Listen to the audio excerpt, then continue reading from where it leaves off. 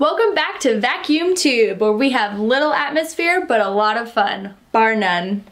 On today's video, we'll review a few of the essentials that we've discussed previously, and then finally show you how to correctly tighten your pipe thread fittings into place. Hopefully, by the end of these series, you'll feel comfortable identifying, prepping, and tightening pipe thread fittings for all of your vacuum science needs. Let's quickly review some of the key points from our first two videos. First, we identified the more commonly used fittings as tapered thread fittings, or pipe thread fittings. Keep in mind that the fitting dimensions refer to the nominal inside diameter of the pipe to which your fitting will be tightened, not the outer dimensions of the thread. This can be a bit confusing at first. Next, pipe thread fittings are prone to capillary voids forming between the male and female threads, which can lead to a leak pathway. This problem is typically addressed through the use of thread sealing tape, which is made from PTFE.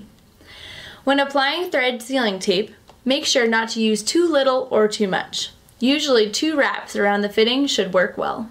Now that we are back up to speed, I think it's time we finally seal the deal.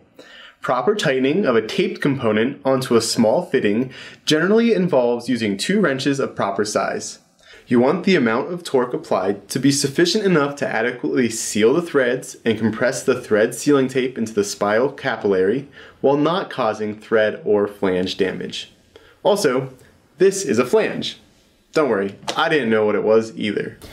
Speaking of flanges, a good rule of thumb for initial flange tightening of a pipe thread for a large component like a thermocouple vacuum gauge is to tighten the flange about a half a turn more than it could be tightened without the use of wrenches. If there seems to be a leak, another half the turn of the flange should do the trick. For smaller fittings, a full turn or more may be required after hand tightening to provide a sufficiently tight seal. Like most mechanical activities, you will get better with sensing proper tightness with experience.